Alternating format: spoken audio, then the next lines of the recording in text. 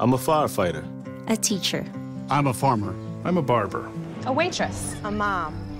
We're all part of your community. Every day we move in and out of each other's busy lives.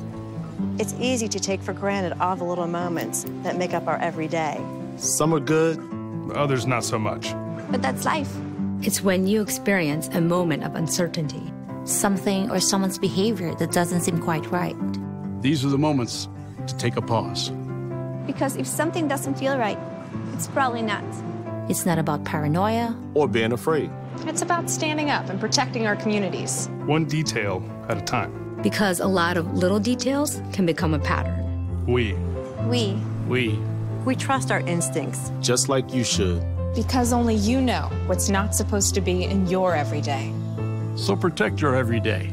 If you see something suspicious, say something to local authorities.